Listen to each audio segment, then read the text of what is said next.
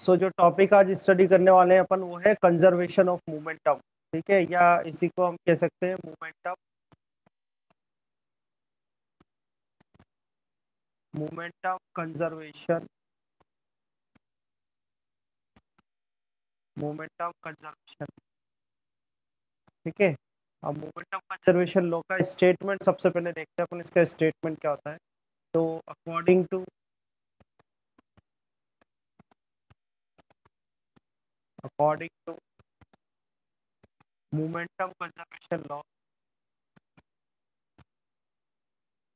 according to momentum conservation law ठीक है according to momentum conservation law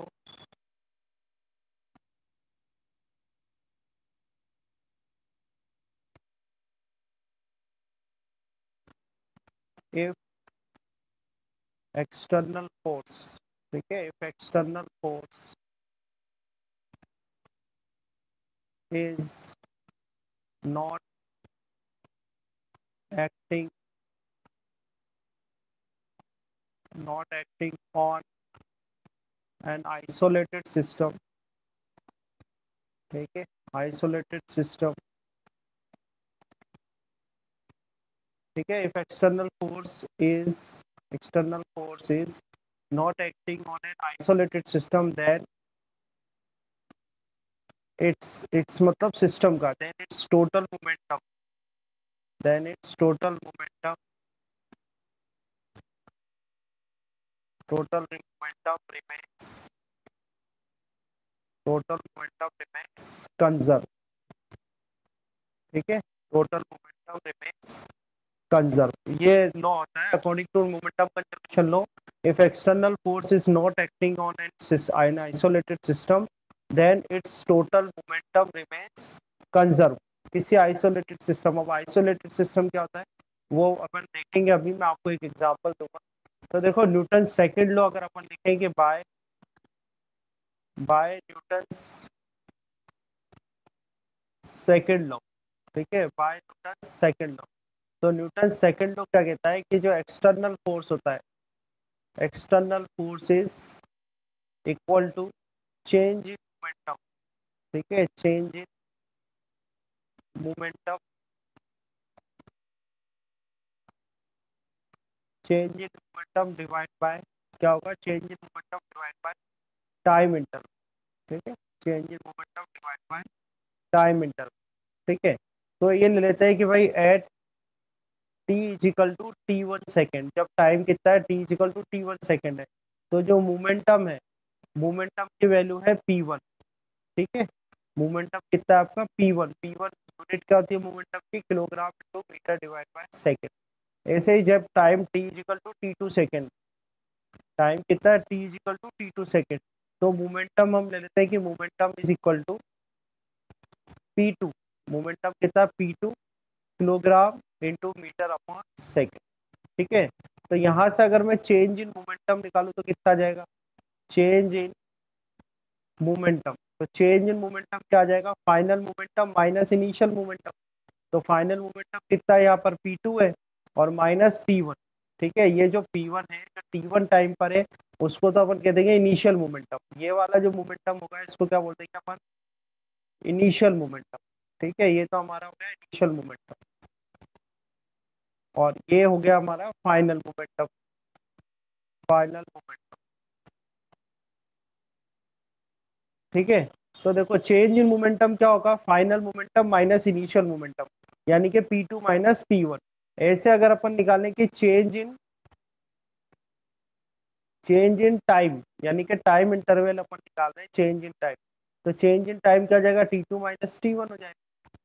ठीक है, समझ में आ रही है ना बात? हम क्या स्टडी कर रहे हैं मोमेंटम कंजर्वेशन लॉ तो मोमेंटम कंजर्वेशन लॉ क्या कहता है कि according to momentum conservation law if external force is not acting on an isolated system किसी आइसोलेटेड सिस्टम पर अगर एक्सटर्नल फोर्स एक्ट नहीं कर रहा है एक्सटर्नल फोर्स क्या है? ज़ीरो है। तो उसका जो टोटल मोमेंटम है वो कंजर्व रहता है। टोटल मोमेंटम कंजर्व रहने का मतलब है, जो मोमेंटम पहले था, वही मोमेंटम बाद में रहेगा। ठीक है तो इस चीज़ को अपन प्रूफ कर रहे हैं। तो प्रूफ करने के लिए देखो अपन ने क्या करा? प्रूफ करने के लिए अपन ने न्यूटन सेकंड लॉ लगाया। अब न्यूटन सेकेंड लॉ में जो न्यूटन सेकेंड लॉ होता है, वो होता है कि external force is equal to change in momentum divide by time interval ये अपन ने पढ़ा हुआ है सेकेंड लॉ में। तो अपन ने ये कहा कि जब time T is equal to T one second है तो मोमेंटम कितना पी वन है, जो कि इनिशियल मोमेंटम है। जब time T is equal to T two second हो गया तो मोमेंटम कितना हो गया पी टू जो कि क्या है? फाइनल मोमेंटम है। तो यहाँ से अपन ने निकाला change in momentum change in momentum क्या होगा? Final momentum minus initial momentum यानी कि P two minus P one ऐसे चेंज इन टाइम यानी कि टाइम इंटरवल निकाला तो क्या आ गया? T two minus T one आ गया. ठीक है? अब हम ये जो इक्वेशन वन है, इसमें वैल्यू रख देते हैं. देखो from equation one equation one में वैल्यू रख देते हैं. तो इक्वेशन वन में वैल्यू जब आप रखोगे तो F external is equal to क्या आएगा? Change in momentum change in momentum क्या है आपका? P two minus P one change in momentum क्या है? P two minus P one और टाइम इंटरवल टाइम इंटरवल क्या है? T two minus T one ठीक है? अब हम यहाँ कहते हैं कि if if F external is zero अगर एक्सटर्नल फोर्स जो है वो ज़ीरो है, क्योंकि अपना लॉ क्या कह रहा है कि कोई एक्सटर्नल फोर्स एक्ट नहीं हो रहा there is no external force तो अगर एक्सटर्नल फोर्स ज़ीरो है तो फिर ये इक्वेशन क्या हो जाएगी? ज़ीरो इज़ इक्वल टू ये हो जाएगा P two minus P one divide by T two minus T one और यहाँ से आपके पास क्या आ जाएगा? P two minus P one is equal to क्या आ जाएगा? ज़ीरो आ जाएगा। यानी कि यहाँ से आपके पास आ जाएगा P one is equal to P two ठीक है? P one is equal to P आ गया। तो P one is equal to P आ गया। इसका क्या मतलब है? ये इक्वेशन टू आई अपने पास। तो P one is equal to P two आ गया। इसका क्या मतलब है कि जो इनिशियल मोमेंटम है इनिशियल जो मोमेंटम है, वो फाइनल मोमेंटम के बराबर है। Initial momentum is equal to final momentum. पर ये कब है? When the external force is zero जब किसी ये आइसोलेटेड सिस्टम पर एक्सटर्नल फोर्स जो है वो ज़ीरो हो एक्सटर्नल फोर्स नहीं लग रहा हो तो उस केस में जो उसका टोटल मोमेंटम है, वो क्या रहता है? कंजर्व रहता है। ये क्या कहलाता है? मोमेंटम कंजर्वेशन लो इस तरह से आप प्रूव कर सकते हो हैंस प्रूफ ठीक है? इसको बोलते हैं मोमेंटम कंजर्वेशन लो ठीक है? या कंजर्वेशन ऑफ़ मोमेंटम तो यहाँ पर हमारा टॉपिक है proof of momentum conservation law by Newton third law ठीक है?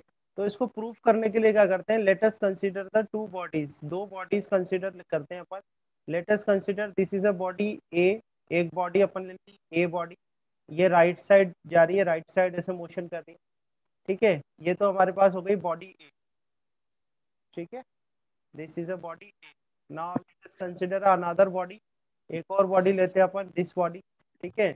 This is a body B and this is also moving right side ठीक है? तो ये इसका जो मास है फ़र्स्ट वाली जो बॉडी है, इसका मास है एम वन और इसकी जो वेलोसिटी है वो है वी वन सेकेंड वाली जो बॉडी है, इसका मास है एम टू और इसकी वेलोसिटी है वी टू ठीक है? अगर इसका मैं मोमेंटम निकालू पी वन ठीक है अगर इसका मोमेंटम निकाले अपन तो इसका मोमेंटम कितना जाएगा? M one V one momentum क्या होता है? मास इंटू वेलोसिटी ठीक है?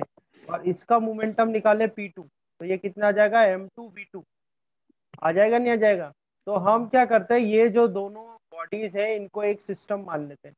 जो मैंने सिस्टम भी वहाँ पर वर्ड यूज़ हुआ था ना आइसोलेटेड सिस्टम ठीक है? तो ये जो दोनों बॉडीज है इनको अपन ने एक सिस्टम मान लिया।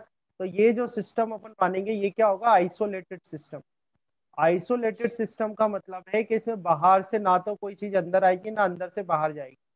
जैसे थर्मस होती है ना अपनी थर्मस में, आप चाय रख दो तो गर्म रहती है वो क्यों? क्योंकि तो थर्मस से कोई हीट बाहर नहीं जाती और बाहर से कुछ अंदर नहीं आता। तो ऐसा ये सिस्टम है जो इसको क्या बोलते हैं अपन? आइसोलेटेड सिस्टम ठीक है? तो देखो, सबसे पहले ये अपन ने बनाया figure A figure A figure A में अपन ने लिख दिया बिफोर बिफोर कॉलिजन। क्या लिखा अपन ने? Before collision. तो एक बॉल एक बॉडी है ए राइट साइड जा रही है बॉडी बी है वो भी राइट साइड जा रही है। इसकी वेलोसिटी यहाँ पर क्या है? वी वन है ठीक है? और इसकी वेलोसिटी अच्छा ऐसा करते हैं जो इन ये जो वेलोसिटीज है इनको अपन ले लेते हैं यू वन यू टू है ना? जो सिंबल है इसका अपन ले लेते हैं यहाँ पर। इसको वे, इसकी वेलोसिटी ले लेते हैं यू वन इसकी वेलोसिटी ले लेते हैं यू टू। ठीक है? तो यहाँ पर आ जाएगा यू वन और यहाँ पर आ जाएगा यू ठीक है? अगर मैं आपसे कहूँ कि ये पूरा जो सिस्टम है, इसका टोटल मोमेंटम बताओ। तो टोटल मोमेंटम कितना हो जाएगा? Total momentum total momentum before collision ठीक है? टोटल मोमेंटम बिफोर कॉलिजन तो टोटल मोमेंटम बिफोर कॉलिजन क्या होगा? इनका सम हो जाएगा। सम कर लेता हूँ इसका P one plus P two ठीक है?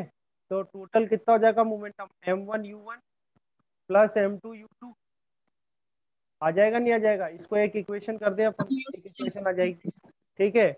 अब मान लो कि जो u1 की वेलोसिटी है u1 की वेलोसिटी ज़्यादा है u2 से। ध्यान से देखना अगर u1 की वेलोसिटी ज़्यादा है u2 से तो ये दोनों कहीं ना कहीं जाके कोलाइड करेंगे नहीं करेंगे एक दूसरे से? टकराएँगे कि नहीं टकराएँगे। टकराएँगे? तो अपन ऐसा करते हैं सेकंड डायग्राम बनाते हैं। सेकंड डायग्राम में क्या हो रहा है, ये जो दोनों के दोनों ऑब्जेक्ट्स हैं, या ये जो दो बॉडीज लिए ये आपस में क्या करेंगे? कोलाइड करेंगे। ठीक है? दोनों जो है, आपस में क्या करेंगे? कोलाइड करेंगे। तो मान लो ये इस तरह से कोलाइड हुए। ये कोलाइड ठीक है?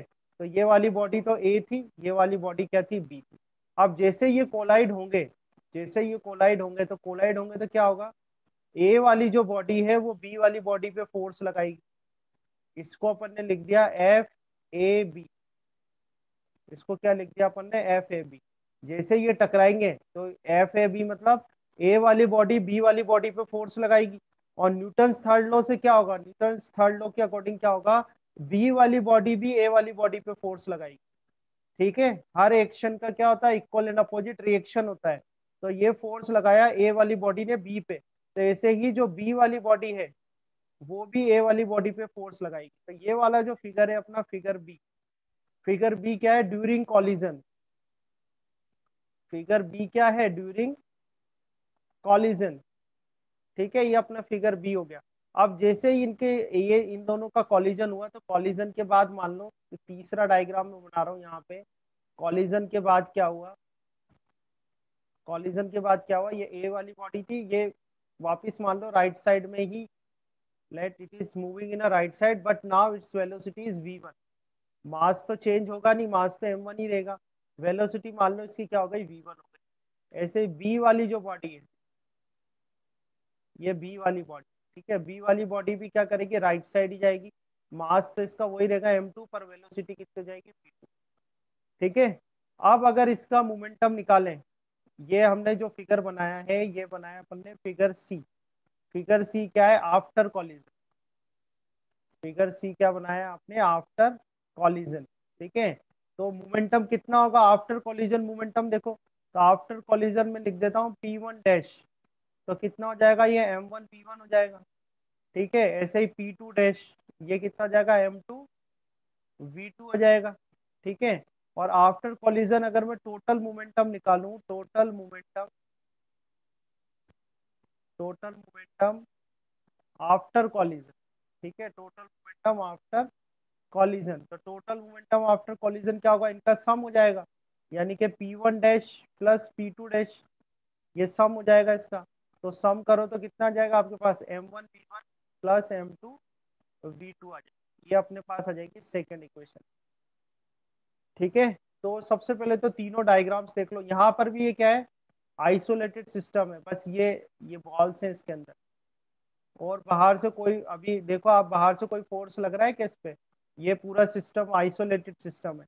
इस सिस्टम के बाहर से अगर कोई फोर्स लगेगा तो उसको अपन बोलेंगे एक्सटर्नल फोर्स तो आप तीनों डायग्राम देखो। तो एक बार और मैं आपको समराइज कर देता हूँ। ध्यान से देखना कि दो बॉडीज हैं। बॉडीज का मास है एम वन और एम टू बिफोर कॉलिजन उनकी जो वेलोसिटी है, वो क्या है? यू वन यू टू है, ठीक है?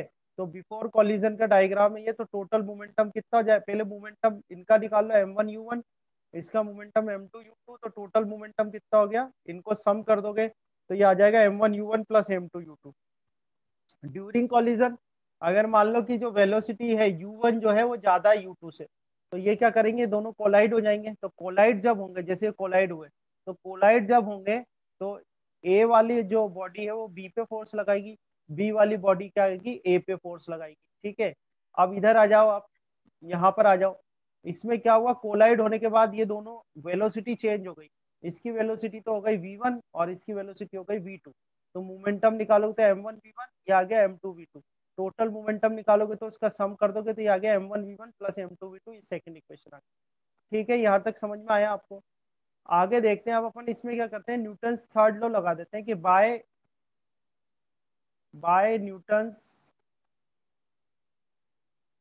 third law, ठीक है? By Newton's third law.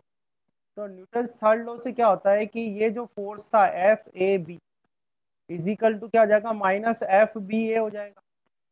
हो जाएगा, नहीं हो जाएगा? इस इक्वेशन को अपन कर देते हैं, सेकंड कर दिया, इसको थर्ड कर देते हैं। ये आ गया थर्ड इक्वेशन थर्ड इक्वेशन में जो ये एफ़ ए बी लिखा हुआ है ना अपने F A B F A B का मतलब क्या है? एफ़ ए बी का मतलब है कि force applied force applied by body A ठीक है? Force applied by body A on body B on body B during during collision जब उनका कॉलिजन हुआ तो ए वाली बॉडी ने बी वाली बॉडी पे जो फोर्स लगाया, उसको हमने लिखा एफ़ ए बी ऐसे ही दूसरा क्या है? एफ़ बी ए तो एफ़ बी ए क्या है? Force applied force applied by body B ठीक है?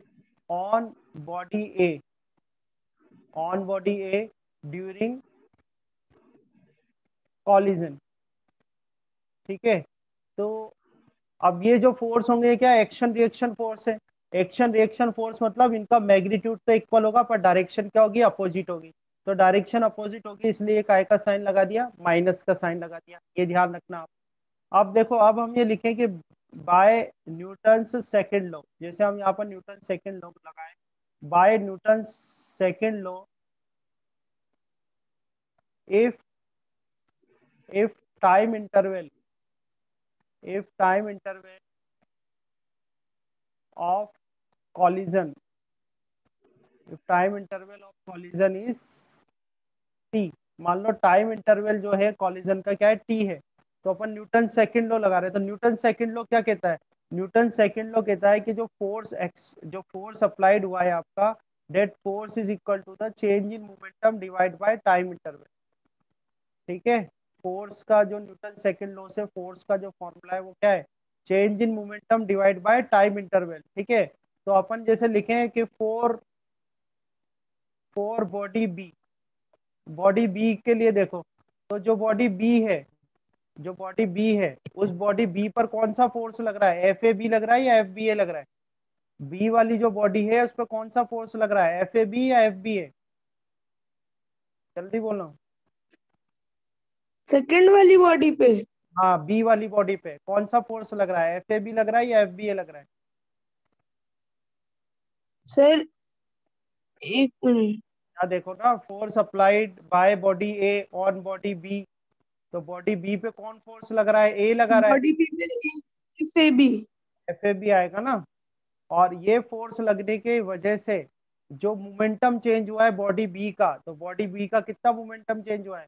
बॉडी बी देखो, ये रही बॉडी बी बॉडी बी का पहले मोमेंटम कितना था? पी टू और बाद में कितना हो गया? पी टू डैश हो गया.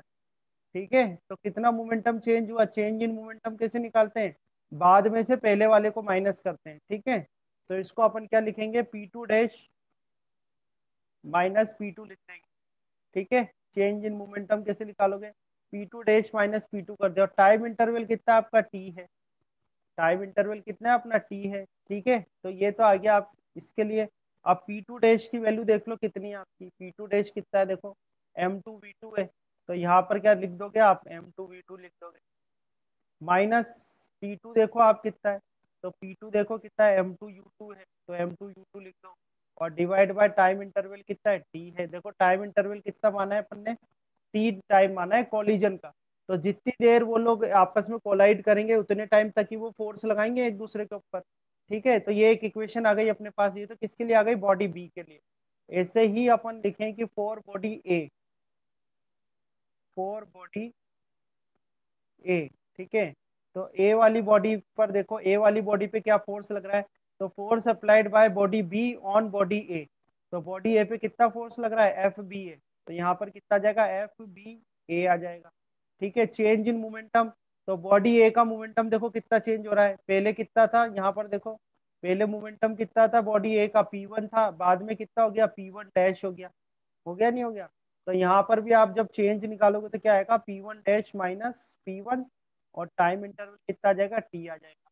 अब पी वन डैश की वैल्यू कितनी है? पी वन डैश की वैल्यू है एम वन वी वन और पी वन की वैल्यू कितनी है? एम वन यू वन ठीक है और टाइम इंटरवल से कितना जाएगा? टी आ जाएगा। समझ में आया? ये वैल्यू समझ में आई? कैसे निकाली है? कुछ पूछना है यहाँ पर? बोलो। एक मिनट समझ लो ठीक से। अगर तो डाउट होगा तो पूछता हूँ। देख लो आप नहीं तो एक बार पूरा ड्राइव कर देते हैं। अब देखो इक्वेशन थ्री देखो। इक्वेशन थ्री में वैल्यू रख दो आप इनकी। इक्वेशन थ्री में एफ़ ए बी की वैल्यू रखो कितनी आ रही है।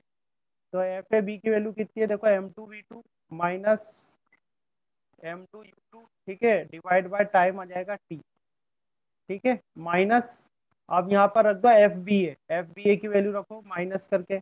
एफ़ बी ए की वैल्यू कितनी है? M one B one minus M one U one ठीक है? एंड डिवाइड बाय ये टाइम आ गया यहाँ पर टी तो इस टी से तो टी को काट दो कैंसिल कर दो। तो आपके पास क्या आ जाएगा? M two V two minus M two U two is equal to minus M one V one and plus M one U one अब ये U one U one U one और यू टू को तो एक साथ कर दो। तो इसको इधर लेके आ जाओ तो कितना जाएगा ये? M one u one and plus m two u two ये आ जाएगा m one u one plus m two u two आ गया। और इधर कितना जाएगा आपके पास? M one b one plus m two b two ठीक है? ये माइनस का था, इस तरफ़ लाओगे तो प्लस का हो जाएगा। तो हो जाएगा m one v one plus m two v two अब देखो m one v one plus m two v two क्या है? M one v one plus m two v two ये देखो ये रहा। तो m one v one plus m two v two equation two से क्या है? टोटल मोमेंटम आफ्टर कॉलिजन और ऐसे ये देखो m one u one plus m two u two क्या है? टोटल मोमेंटम बिफोर कॉलिजन ठीक है? तो ये तो आपका हो गया total momentum total momentum before collision total momentum before collision ठीक है? और इधर ये साइड क्या है? इस साइड में क्या आ रहा है ये? Total momentum total momentum after collision ठीक है? टोटल मोमेंटम आफ्टर कॉलिजन ठीक है? तो यही तो अपना क्या है? ये क्या चीज़ है अपना? ये कौन सा लॉ है? ये कौन सा लॉ है? इस लॉ को क्या बोलते हो आप? Momentum conservation law momentum conservation law हो गया ना। मोमेंटम कंजर्वेशन लो यही तो होता है। In the absence of external force the total momentum remains conserve तो टोटल मोमेंटम रिमेन्स कंजर्व यानी कि पहले जो मोमेंटम था बाद में भी कोई मोमेंटम रहेगा। तो देखो यहाँ से क्या आ रहा है?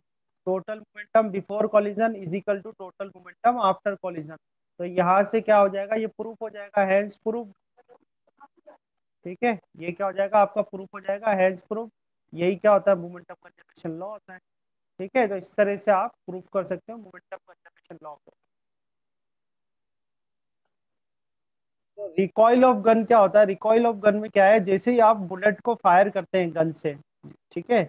जैसे ही हम बुलेट को फायर करते हैं गन से तो न्यूटन थर्ड लॉ से क्या होता है कि जो बुलेट है वो तो फॉरवर्ड डायरेक्शन में जाएगी इस तरह से, और जो आपकी गन है वो बैकवर्ड डायरेक्शन में जाएगी। यानी कि आपकी जो गन है उसमें क्या लगेगा? बैकवर्ड जर्क लगेगा। तो इसको बोला जाता है रिकॉइल ऑफ़ गन ठीक है? तो मान लो कि अपन ये ले लेते हैं दो डायग्राम मैंने बना रखे हैं before firing and after firing है ना? रिकॉइल ऑफ़ गन में आपको ये निकालना है कि आफ्टर फायरिंग फायरिंग के बाद आपकी गन जो है वो कितनी वेलोसिटी से या कितनी स्पीड से पीछे आएगी बैकवर्ड आएगी। तो ऐसा करते हैं कि सबसे पहले हम लेते हैं एम जी एम जी का मतलब हो गया mass of gun m g का क्या मतलब हो गया? मास ऑफ़ गन और एम बी ले लेते हैं। एम बी हो गया आपका मास ऑफ़ बुलेट। ठीक है, ये हो गया आपका m b mass of bullet now before firing before firing before firing velocity of velocity of gun and bullet will be कितनी होगी? बिफोर फायरिंग कितनी वेलोसिटी होगी गन और बुलेट की? बताओ। बिफोर फायरिंग गोली चलाने से पहले गन और बुलेट ज़ीरो ठीक है? So before firing velocity of gun and bullet will be zero क्या होगी? ज़ीरो होगी। तो अगर अगर हम निकाल यहाँ से अपन निकालें कि भाई total momentum total momentum total momentum before firing total momentum before firing तो बिफोर फायरिंग टोटल मोमेंटम कितना होगा? P one is equal to zero ही होगा तो।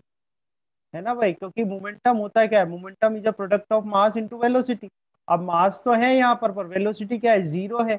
तो वेलोसिटी ज़ीरो है तो मोमेंटम क्या हो जाएगा? ज़ीरो हो जाएगा।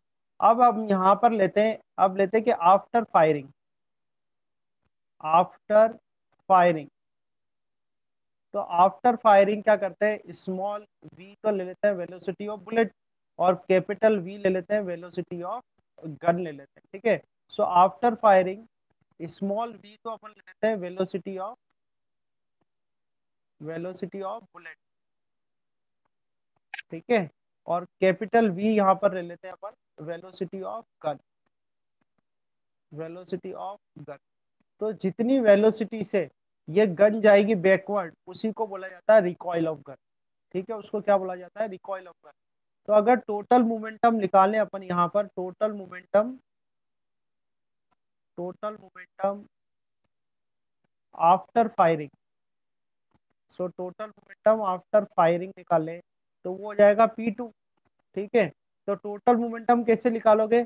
बुलेट का मास इंटू बुलेट की वेलोसिटी और गन का मास इंटू गन की वेलोसिटी तो बुलेट का मास कितना है? एम बी और वेलोसिटी कितनी है? स्मॉल बी गन का मास कितना है? एम जी ठीक है? और उसकी वेलोसिटी क्या है? कैपिटल यह आ गई आपकी सेकेंड इक्वेशन अब हम यहाँ पर आप देखो, इस पर कोई एक्सटर्नल फोर्स एक्ट नहीं कर रहा। एक्सटर्नल फोर्स एक्ट नहीं कर रहा तो हम क्या कर सकते हैं? बिकॉज़ बिकॉज़ एक्सटर्नल फोर्स जो है, वो क्या है? ज़ीरो है। एक्सटर्नल फोर्स इज़ ज़ीरो तो मोमेंटम कंजर्वेशन लॉ से P1 जो होना चाहिए, वो P2 के बराबर होना चाहिए।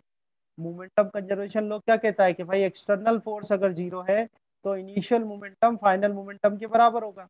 तो यहाँ से आप देखो mass of bullet velocity of bullet plus mass of gun velocity of gun is equal to क्या कर देंगे? ज़ीरो आपको क्या निकालना है यहाँ पर? वेलोसिटी ऑफ़ गन तो वेलोसिटी ऑफ़ गन क्या आ जाएगा? माइनस मास ऑफ़ बुलेट ठीक है? Divide by mass of gun and into velocity of bullet b तो ये आपका फॉर्मूला आएगा, इसका फॉर्मूला आएगा रिकॉइल ऑफ़ गन का। ठीक है? यानी गन कितनी वेलोसिटी से पीछे की तरफ़ जाएगी, ये इसका फॉर्मूला है। तो इसके क्वेश्चन भी आएँगे करने के लिए। तो आपको ऐसे मोमेंटम कंजर्वेशन या तो आप ऐसे मोमेंटम कंजर्वेशन लो लगा दो, या फिर आप क्या करो डायरेक्ट ये फॉर्मूला लगा दो, आपका आंसर आ जाएगा। तो वी मतलब होता है वेलोसिटी ऑफ़ गन जितनी वेलोसिटी से गन क्या है, पीछे की तरफ़ जा रही है। और इसी चीज़ को बोला जाता है रिकॉइल ऑफ़ गन ठीक है तो रिकॉइल ऑफ़ गन का फॉर्मूला क्या होगा? V is equal to minus mass of bullet divide by mass of gun into velocity of bullet ठीक है तो ये चीज़ कहलाएगी रिकॉइल ऑफ़ गन